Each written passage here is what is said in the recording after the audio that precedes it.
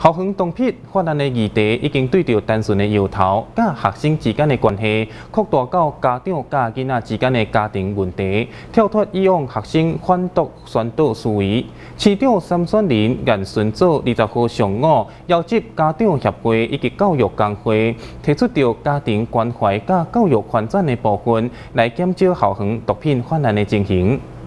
记者会上午，资料参选人间孙者召集台南市各家庭协会、甲教育工会，组织伫竞选服务处，针对减少校方毒品泛滥，提出非常无共款的反毒政策。跳脱机构直接向学生做反毒宣导，参选人间孙者现在认为，应该对家庭面落手，向家长以及社会做宣导，进一步关怀有可能接触毒品的少年朋友。过去我们所重视都在校园里面宣导，那我是觉得说，应该要跟家长做宣导，因为家长跟孩子的。前途最有关系，家长跟孩子的作息时间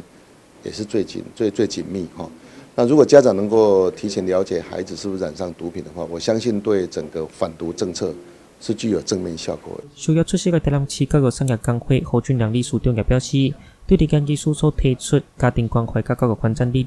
是减少校园毒品散播上正确的方法。我想验毒试剂哦，对真的想要尝试毒品的孩子会有压力的。哦，如果说有这个东西去做这样的处理，然后家长又愿意哦，我相信它一定会起一定防治的一个效果。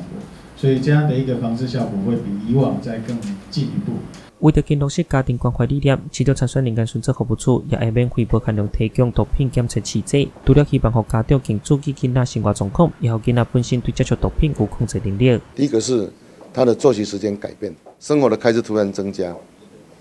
第三是他的功课一落千丈。第四，他身上闻到闻到一股怪的味道。第五是他的书包、他的抽屉、他的房间不要你进去。哈，那如果如果发现这个情形的话，我们就我们会在家里面，呃，分给家长一个检验毒的试剂，验毒的试剂。你们每一位都写，然后待会一起。立即召回最高参选人员孙泽亚家顾会贵宾，伫检测中央同意提供验毒器剂，互家长检验书顶面到店签名人数，希望会当得到中央政府同意，将反毒政策先输为落实伫社会上每一个角落。记者万江平区采访报道。